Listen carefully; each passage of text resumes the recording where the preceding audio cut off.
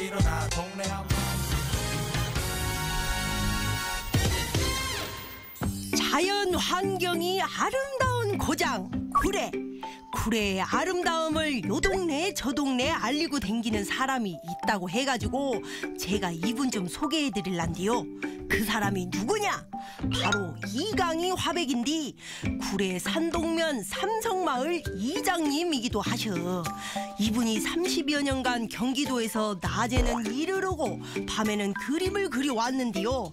그림에 전념을 하기 위해 2013년 고향 구례로 돌아와가지고 구례 경관을 그려불기 시작을 했다고 하네요. 낡은 벽에다가 벽화를 그려가지고 요라고 생기 있게 바꿔버렸고요. 쓰레기 수거차에다가 산수유 풍경을 그리가면서 구례 명물로 싹 바꿔버렸지.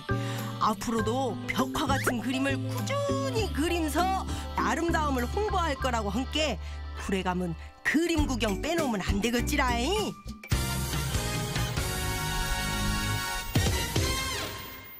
영암에서요 축구 선수가 꾸민 애기들을 위해 특별한 행사가 열렸는데요. 이름하여 K리그와 함께하는 유소년 축구 클리닉.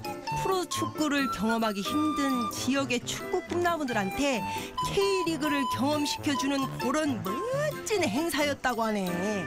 김병지 선수랑 유상철 선수 등이 참여를 해가지고 무려 2주 동안 행사를 열었는데요 저학년, 고학년으로 나눠가지고 각각의 실력에 맞춰 지도를 하고 모인 애기들이 한 500명 가까이 됐는데 한명 한 명 같이 사진도 찍어주고 사인도 해주고 토크 콘서트를 하면서 궁금한 것들을 싹 답변을 해줬다게. 요 애기들은 자신의 롤모델과 만나면서 꿈에 한 발짝씩 가까워진 기분을 느꼈단디 응, 그럼은 너그 나중에 커가지고 훌륭한 축구 선수가 되면 선배들한테 받은 거 이상으로다가 후배들한테 해주기로 요 누나랑 약속 거는 거다잉? 꿈은 이루어진단께!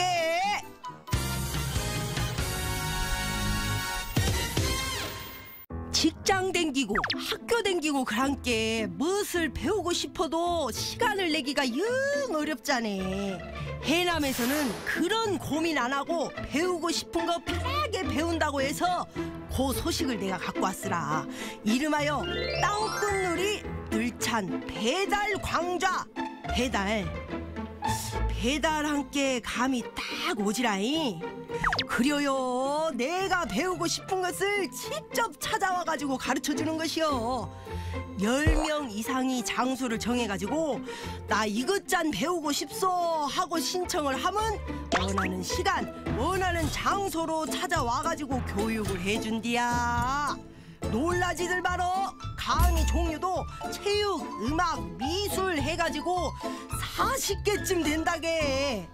해남읍에서 쪼까 떨어진 면단위 신청이 많아 불고니 인기가 겁나 좋다고 하니까 찾아가는 교육 서비스 만들기를 잘해버렸지라잉.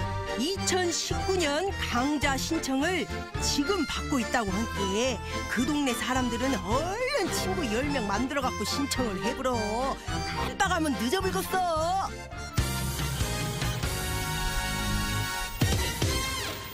광주 우치공원 가봤지라잉 음 동물원. 우치공원 입구에 백두산 호랑이 조형물이 들어섰는데요. 많은 동물들을 내비두고 갑자기 뭔 호랑이냐 하면 우치공원 동물원을 대표하는 동물이 바로 백두산 호랑이라요.